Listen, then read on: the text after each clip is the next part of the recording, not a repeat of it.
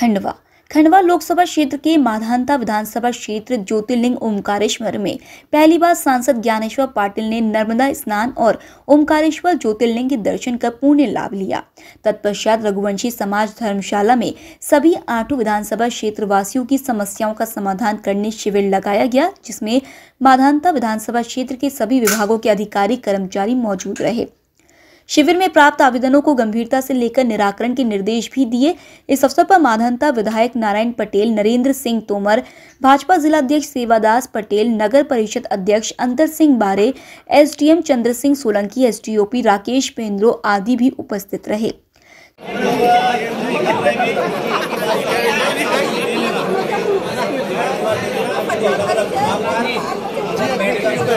हमारा मैटर सुलझा देना थोड़ा किसान संघ के खंडवा ज़िले के अध्यक्ष विचार किया था और उसकी शुरुआत की आज। स्नान ध्यान एक और समाधान। की एक साथ लोगों को सुनने का समस्या का समाधान करने का अवसर अमावस्या के रोज और नर्मदा मैया के किनारे और ओंकार भगवान के पावन धरती पर। यदि लोगों की समस्या को सुना जाएगा तो निश्चित रूप से भगवान ही समस्या का समाधान करेगा और आज बहुत सारी समस्या आई है। कुछ थोड़ी बहुत समस्या को यही तत्काल समाधान हुआ भी है।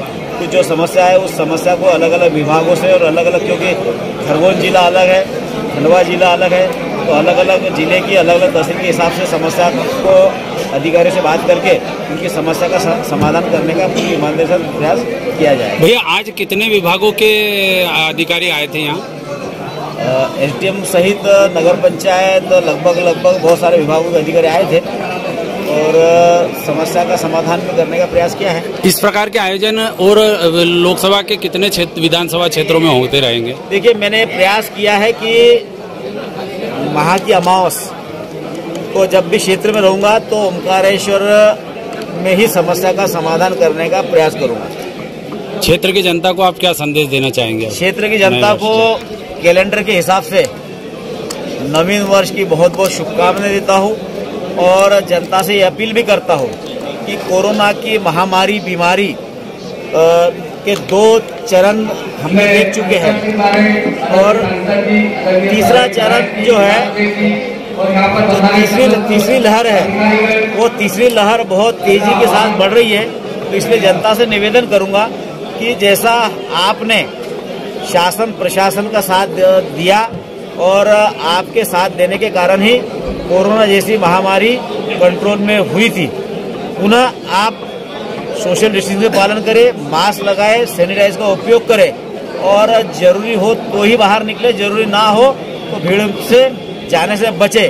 बात देता हूँ कि मोदी जी ने लगभग 140 करोड़ वैक्सीन निशुल्क वैक्सीन लगाने का काम किया। और कोई गरीब भूखा न सोए, उसके लिए निशुल्क अनाज देने का भी काम हमारे मोदी जी और हमारे लोकप्रिय मुख्यमंत्री शिवराज सिंह चौहान जी काम कर रहे हैं। और भारतीय जनता पार्टी का संगठन, चाहे हमारे राष्ट्रीय अध्यक्ष नड्डा जी हो, चाहे हमारे प्रदेश के अध्यक्ष माननीय डी शर्मा जी हो, सबने सेवा ही संकल्प का, कार्य को, कार्यकर्ताओं को भी लगाया। शासन, प्रशासन, कार्यकर्ता, संगठन, सब मिलकर इस कोरोना की हमारे सांसद महोदय की बहुत ऊँची सोच है। स्नान, ध्यान और समाधान।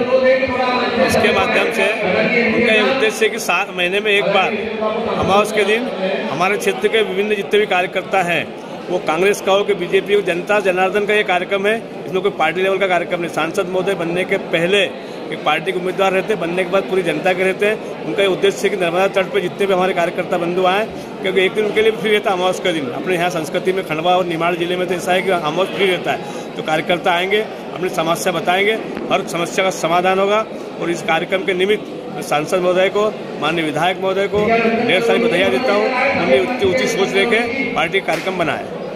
प्रथम बार आज नए वर्ष के उपलक्ष्य में माननीय सांसद महोदय के द्वारा जन समस्या निवारण शिविर रखा गया। उस शिविर में जो भी समस्या है, उनका तत्कालिक निराकरण का प्रयास किया है। कुछ समस्या ऐसी है जिनका निराकरण रिकॉर्ड रिकॉर्ड देख के करना पड़ता है, इसलिए थोड़ा सा समय होगा। और आगे भी इस प्रकार के शिविर होंगे तो बिल्कुल हम लोग कोशिश करेंगे कि समस्याओं का निराकरण हो। बड़वा ब्लॉक और पुनासा ब्लॉक के कितने अधिकारी कर्मचारी यहाँ आए थे?